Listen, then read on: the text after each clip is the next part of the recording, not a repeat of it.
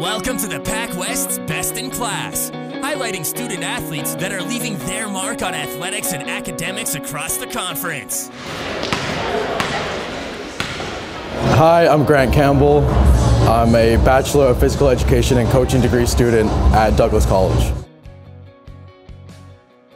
Uh, coming out of high school, there wasn't much interest shown in me coming out of high school, so Douglas was one of the main ones that stepped out. So yeah, it was kind of just my, my only really option really going there.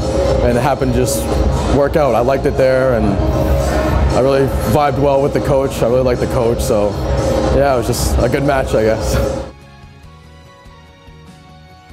Uh, I'm a big sports guy and I also like giving back to young kids. So the program I'm in, it helps you get into physical education and or coaching which I, I strive to be. I hope to be a coach one day and, and possibly be a teacher as well. So that's the field of study I'm interested in.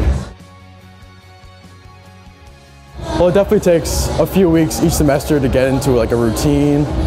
Um, especially being my fifth year, like I know kind of how to make a routine and know how to balance my time. But my first year I struggled a lot, of course. It was a brand new experience for me, so I just tried to, you know, learn from the older guys that were on my team at the time and just did my best to make sure I had time for all the priorities in my life.